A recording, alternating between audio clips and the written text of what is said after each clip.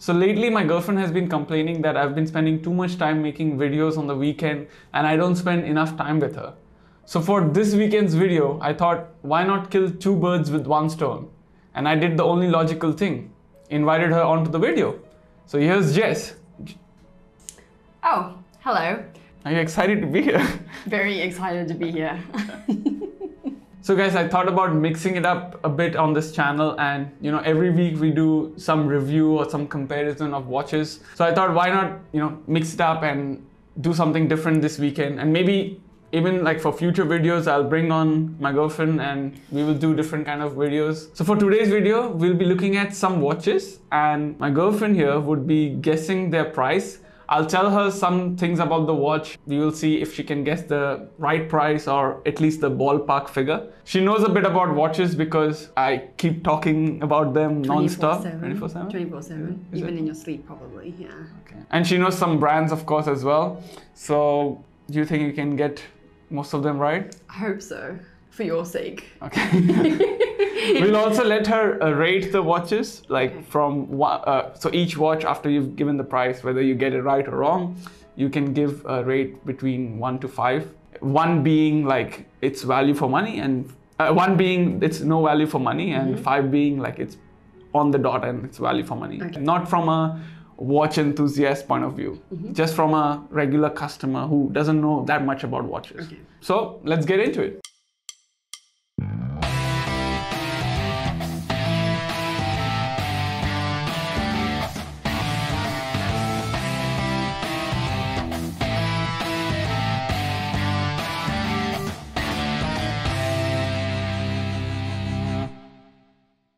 So the first watch we have here is from a company I'm sure you're aware of, Seiko. Yeah.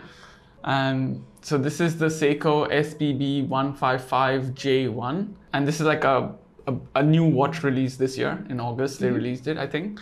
And it comes from the design. The design itself is from a. I, I recently did a video of the Alpinist. I don't know if you watched it. I can't remember. I, I mean, I don't know if she watches my videos.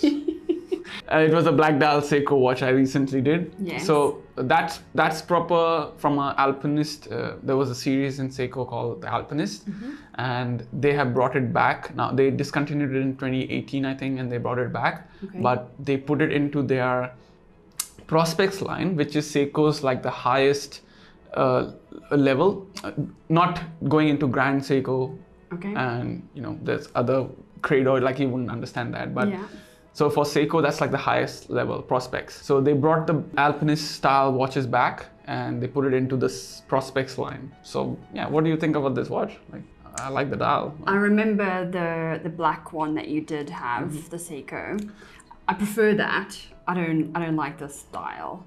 You like um, the black dial? I like the black dial. This is a different watch too. Uh, the one that I did on the video uh, that had an internal rotating bezel, the compass. Okay. So this one doesn't have that. So okay. it's just this this one still is uh, 200 meters water resistant. So you can see the 20 bar means it's 200 meter water resistant. Okay. I think I don't like the yellow like uh, letters. The gold. Uh, yeah, sitting on that green background. Uh, it's not like a prominent gold. I feel it's like a really like washed out kind of color. Um, but the dial itself, I don't really like. You don't like that? No. Uh, texture going from green to black? No. No, don't like it. Okay. So I'll tell you some of the specs about this watch. I know some things you understand. Yeah. And so you understand the case, like, I mean, it's, it's stainless steel. There's yeah. no gold or anything like that. Mm-hmm. And it, it is 200 meter water resistant. Okay. I think you understand that as well. And uh, the movement basically is not like the highest level, but it's still 20, it gains 25 seconds or loses 15 seconds per day. Mm-hmm. So that means like in an automatic watch or even a manual wind watch have some deviations in time like they they they lose time over the day okay. Uh, because of it beca- being mechanical sure. so this particular movement they are saying like seiko says that it will lose 15 seconds or gain 25 seconds per day. Okay. So i mean i'm just telling you the specs that you might understand sure. you know? Yeah. So knowing all that, like, what do you think the price would be of this watch, or in your opinion, what what the price should be? When I first thought about Seiko, I always thought they were sort of the cheaper end on, on the watches. But you've mm-hmm. told me like there's watches out there for like seven, eight, nine grand, which That's- is surprising. That would be Grand Seiko. okay, sure. So, so you've given me a bit of a hint there. So it's got to be below this that price, basically. Well, it's up to you to guess. like, okay, so I would probably guess around in Singapore dollars. maybe around 6k. 6K. 6k. This is Seiko. Yeah. Not Grand Seiko. okay, fine. but okay, you said it. You said it. 6K. 6K. You Oh, said 6K. You're gonna tell me like a two hundred dollars or something. no, it's around a thousand Singapore dollars, Oh, which is like gosh. 700 US dollars. Okay. And actually, it's funny that you said 6K uh, or like a higher price because Mm-hmm. people are already like complaining that Seiko Seiko is supposed to be like on the cheaper end and not be you know uh, on the Grand Seiko kind of range. More affordable. So people are already complaining that it's a thousand Singapore dollars. Yeah. Okay. so so you took it like to the next level so yeah you got that r- wrong i would say By quite a bit. not even yeah it's like really so do you think like it's worth uh, 700 usd or like a thousand singapore dollars In terms of value for money, I would probably give it maybe a three. a three Yeah. even though you you thought it was $6000 watch Well, if I'm taking it based on the actual price, I would say it's a three out of five.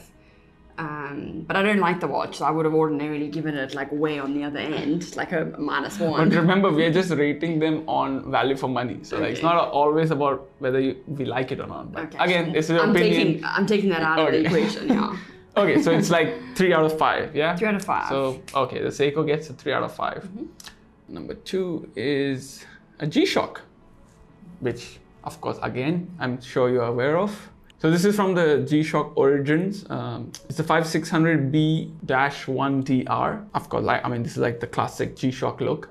And um, the case material is resin with like stainless steel, and the band is also resin okay. and it's also 200 meter water resistant and of course being g-shock it's shock resistant Yeah. uh, but it is not all of this so it's not like rust resistant doesn't have a solar battery or all of that so it's basically like resin and stainless steel case and a resin band Yeah.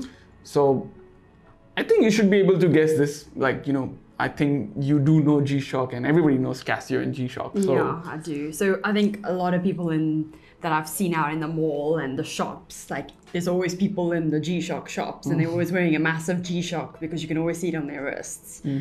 Um, I think it's a good like sort of holiday adventure kind of watch too. and it's a casio like who doesn't It's the ha- own a classic, casio right, Yeah, even I own one. yeah Um, so I would again probably more on the cheaper side in terms of watches. Mm-hmm.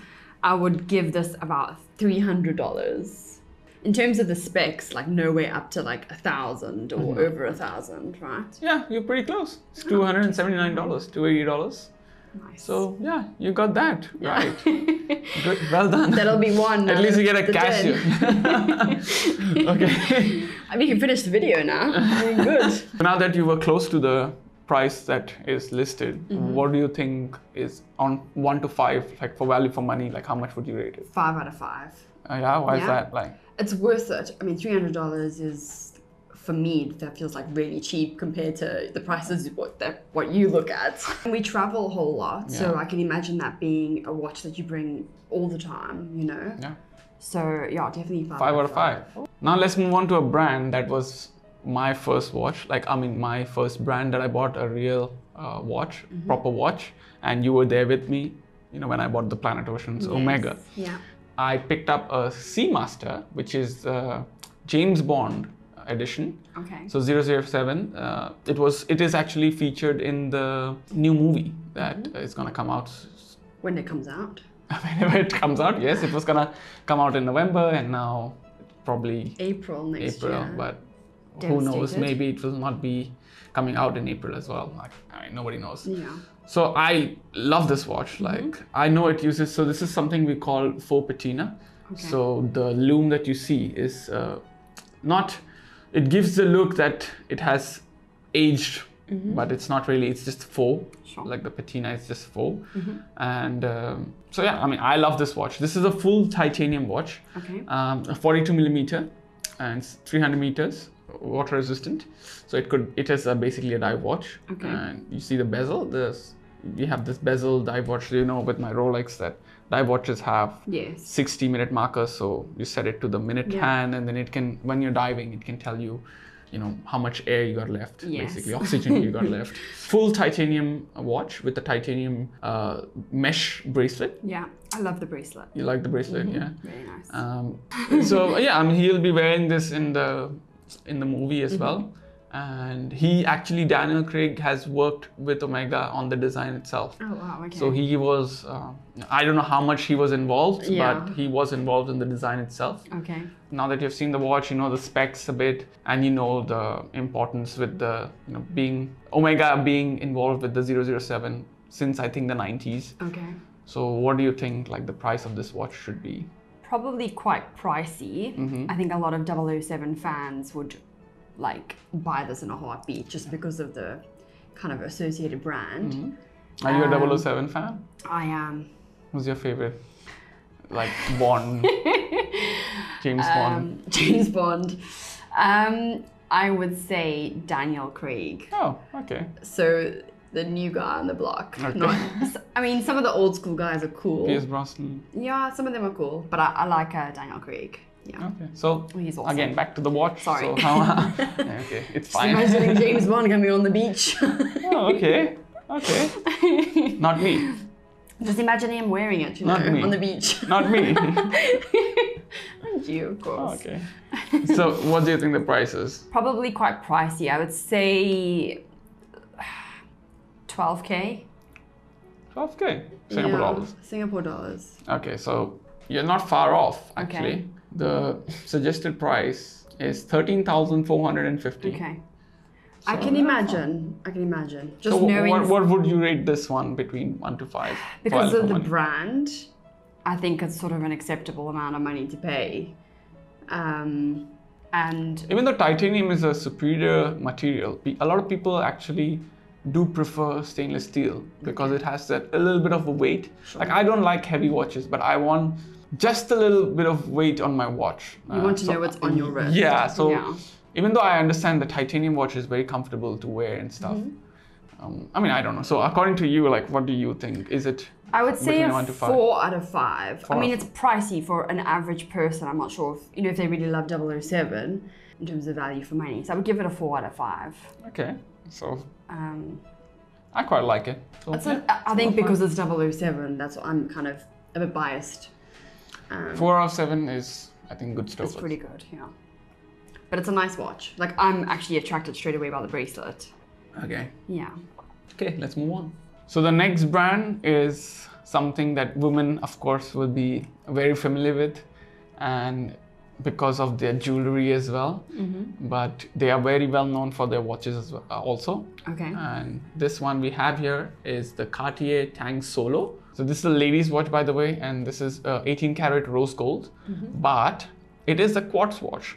So a lot of the brands do make quartz watches for ladies because they always feel that um, Women women women don't not not just that. It's also that women don't want to be setting time or caring about winding uh, watches, which I don't think is true. I mean, we have a lot of pe- like if you look into you know the watch community, uh, women in into watches like we have um, the 10 and 2. There's this uh, podcast 10 and 2. We have uh, amazing podcast. They have done like over 100 episodes now. We have a lot of uh, Instagram accounts that are run by like women who are into watches.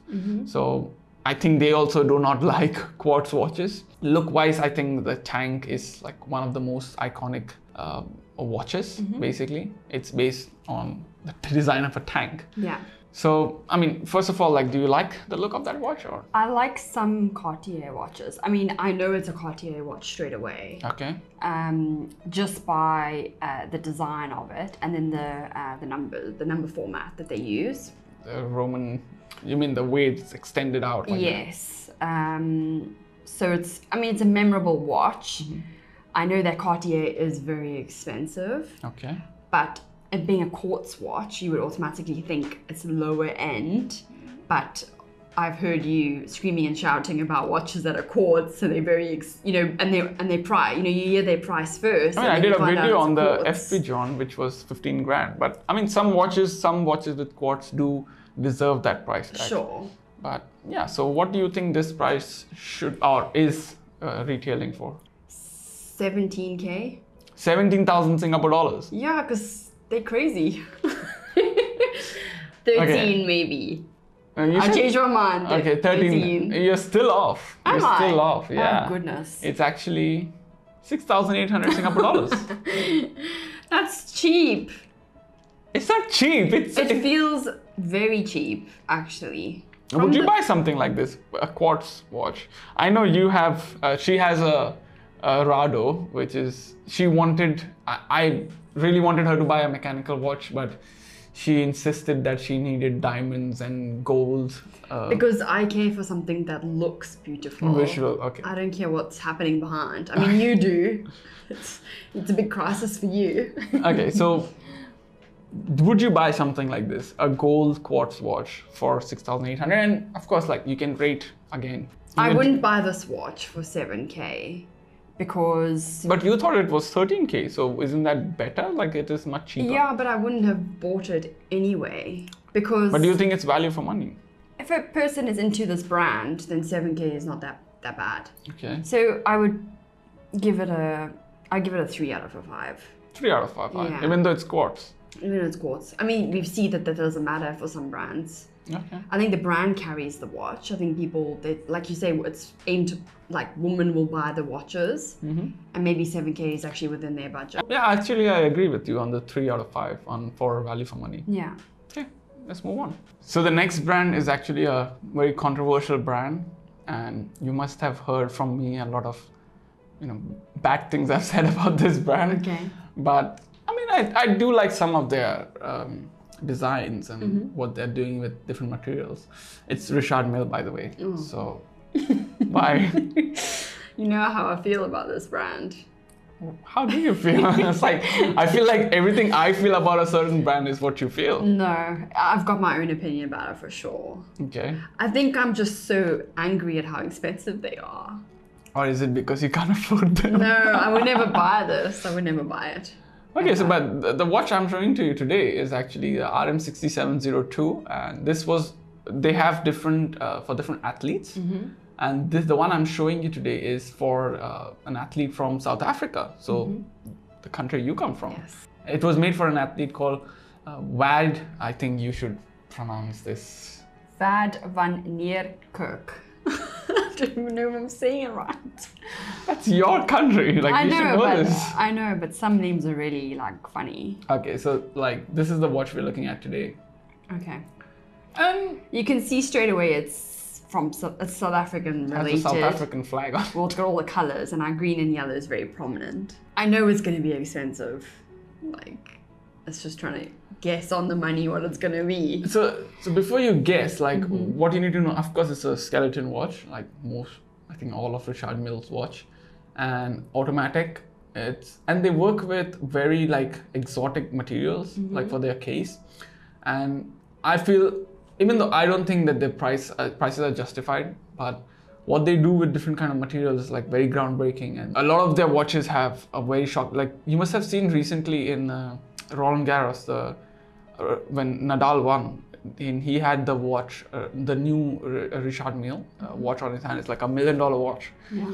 and he was wearing it while he played for the whole, the, the played the whole tournament, and basically it can survive that kind of a shock, like a from a tennis racket. Yeah. So you can understand like how How much force it can do. it's like overly engineered watches, like you know these watches.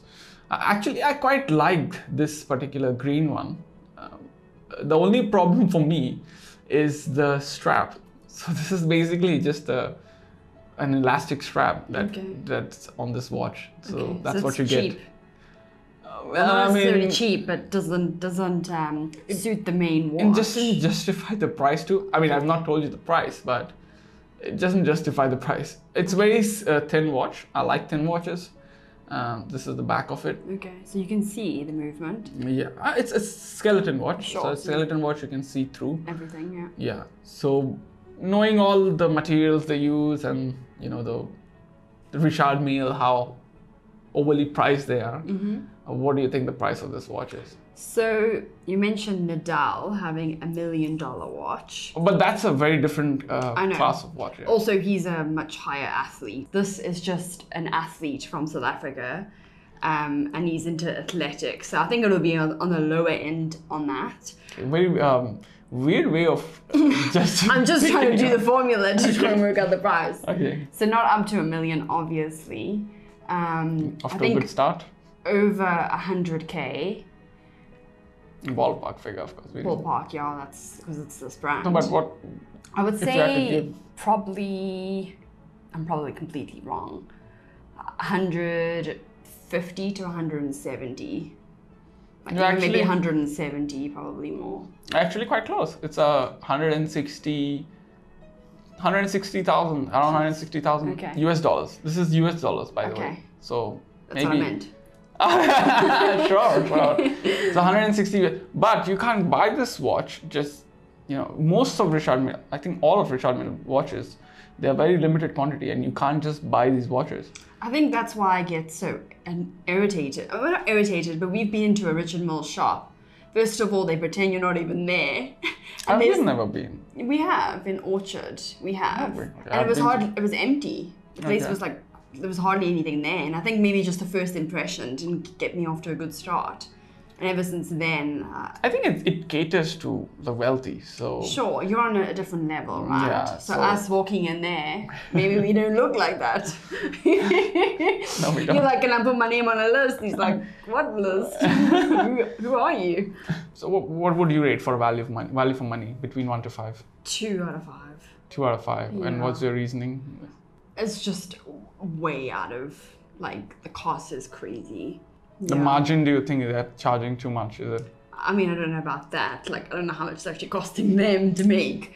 But um, I think I'm probably comparing it to other like more amazing watches out there, like your Pateks and things like that. Yeah, definitely. Like for that same price, you can be buying much complicated. Like you can you can be buying tourbillons. By the way, she does know what a tourbillon is. you could be buying a tourbillon or a perpetual calendar for Yeah. the same price, and it blows my mind that a simple time only. It's not just that it's time only. It's just it's just ridiculous for me. I feel like this kind of a watch is in somebody's collection that maybe Mm-hmm. has 10 watches and they want something funky and they also have a lot of cash. Mm. You know, and this is just like a statement watch for them. It's something they can buy as an extra. This is definitely like a statement brand itself. Like Yeah. if you have this watch, you, you're making a sta- statement. Yeah, and everyone would know it's on your wrist Mm-hmm. because you can see it before, you know. Not saying that it's only to show off, but uh, It's hard again. not to see it on someone's Yeah. wrist. Yeah. Okay, so two out of five. Yeah. So yeah, those were the watches. I think you got some right on the dot. Majority right. Yeah. Sure. I mean, and one of them you gave a five out of 5 mm-hmm. I think it was the G Shock, right? yeah. yeah. The cheapest one. So yeah, that was fun. Mm-hmm. So we have spent enough time for for this weekend. Yeah, yeah it's been great. Yeah? Thank Okay. you. Come on, let me let, let me let me go back to my watches now. So guys, let us know in the comments down below if you enjoyed this video and also if you would like to see her be involved in more videos in the future and maybe we can make a series out of this thing. If you enjoyed this video, smash that like button and also subscribe to the channel and follow me on Instagram at Wine on the Move. Until next time, cheers. Bye. Cut that out.